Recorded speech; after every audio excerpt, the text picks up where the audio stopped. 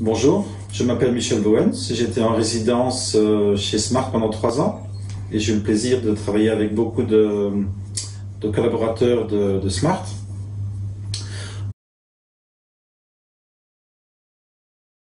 On définit en fait les communs euh, par trois critères principaux. Le premier, c'est simplement le commun, c'est une ressource partagée. Donc, par exemple, un groupe de paysans qui décide euh, d'avoir quelques machines agricoles en coopérative.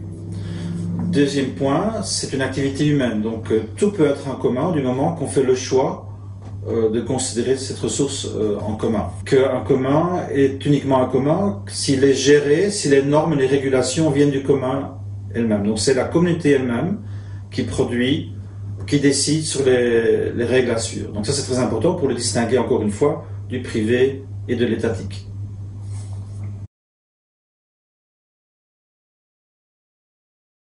Alors c'est très important, c'est de considérer euh, le rôle d'un commun dans une transition.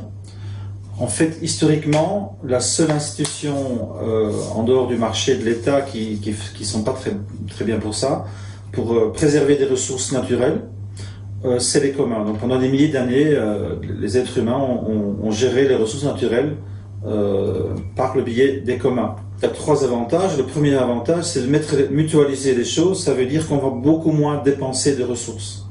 Par exemple, des voitures partagées en association. Chaque voiture partagée va pouvoir remplacer entre 9 et 13 voitures privées. Donc c'est un énorme gain euh, qu'on peut appeler thermodynamique, c'est-à-dire une baisse euh, énorme au niveau de ce que l'être humain dépense euh, au niveau des matières. Deuxième aspect, si c'est beaucoup moins cher en ressources, ça sera aussi très intéressant au niveau financier, économique. Donc du coup, c'est beaucoup plus inclusif. Euh, par exemple, être membre d'une association de car sharing va peut-être euh, être l'équivalent d'un quart du prix de maintenir une voiture privée. Troisième aspect, c'est l'aspect démocratique, parce qu'on est dans une société où, en fait, à part les élections, euh, on vit dans des systèmes hiérarchiques à l'école, souvent dans les usines, etc., dans l'entreprise. Et donc les communs sont autogérés par, par les communautés. Donc il y a trois grands avantages et tous les trois vont jouer dans des moments de crise. Et historiquement, en fait, il y a des périodes euh, extractives, donc où l'humanité va beaucoup trop dépenser, euh, et il y aura des, des, époques plus régénératives où, par le biais des communs, on va essayer de vivre plus en harmonie avec les ressources naturelles. Et je crois qu'on est dans un moment pareil. Donc, quelle est la relation entre les communs et le père à père? Euh, Le père à père, c'est une, dynamique relationnelle.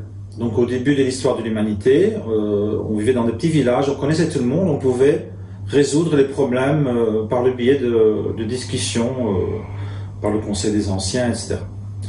Dans les sociétés modernes, il y a beaucoup trop de monde pour que le père à père fonctionne au niveau local.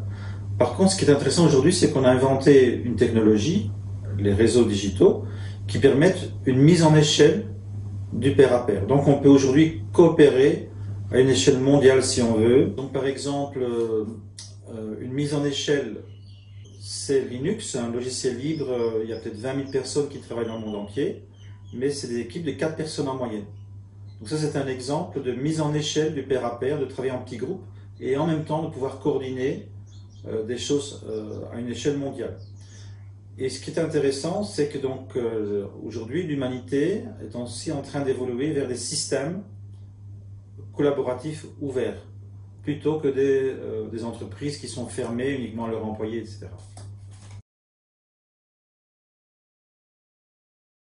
Alors, est-ce qu'il y a des, liens entre euh, Smart euh, et le principe des communs? Évidemment que, oui. Donc, premièrement, j'estime que Smart, c'est déjà une plateforme coopérative. Donc, c'est-à-dire, évidemment que Smart s'occupe des, transactions marchandes entre les travailleurs euh, freelance, les travailleurs autonomes et leurs clients. Donc, ça, on peut dire que c'est une fonction marchande, ce n'est pas, pas en soi un commun. Mais l'écosystème que Smart propose, c'est une plateforme autogérée par une coopérative. Donc euh, l'écosystème de Smart est un commun dans ce sens-là. Deuxième aspect, euh, Smart Communication est une coopérative. Donc c'est un commun, on va dire fermé, mais, mais qui est un commun pour ses membres. Donc c'est un deuxième aspect. Et le côté financier de Smart, donc il y a un fonds de garantie mutuelle qui est une mutualisation des revenus. C'est-à-dire qu'il y a un flux financier qui va permettre de prépayer les, factures, qui est une, forme de mutualisation. Donc c'est aussi une forme de commun. Aujourd'hui, donc avec euh, Smart in Progress et tous ces nouveaux projets, on voit très bien que Smart est, en marche euh, vers un modèle qui est beaucoup plus orienté vers le commun euh, que dans le passé. Donc je crois qu'il y a un vrai lien entre Smart et les communs et évidemment on pourrait aller plus loin. Donc une des choses que j'ai pu discuter avec les dirigeants de Smart, c'est l'idée de mutualiser les achats, par exemple. C'est de, dire on va pas seulement aider nos membres euh, à gagner plus et à sécuriser leurs revenus, mais on peut aussi dire voilà, on va utiliser la masse des membres pour obtenir euh, euh, des achats collaboratifs qui vont aussi permettre d'avoir une vie meilleure en dépensant moins par la mutualisation. C'est fini.